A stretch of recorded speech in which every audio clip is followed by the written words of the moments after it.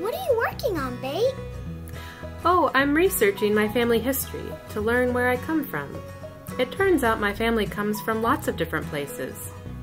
A long time ago, my family lived in Poland, but then they moved to New York, and now I live here. Where do you come from, Aleph?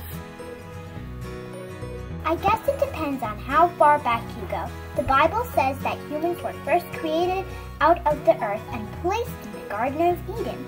So in a way, that's where we're all from, isn't it? That's true. And yet we're all from different places that make us who we are. Like Jesus was from Nazareth, out in the sticks. People thought nothing good could come from Nazareth. Wow, were they wrong? Sounds like where I'm from, or at least where I was born. I don't really know much about where my family is from before that.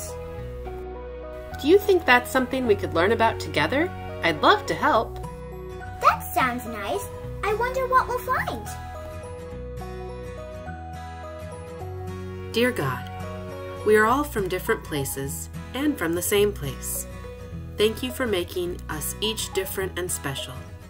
Help us to see each person as part of our human family. Amen. Are some questions for your family to talk about. Do you know where your family came from? Where where are you from now? What is good about people coming from different places? Why is it important to remember that we all come from the same place originally?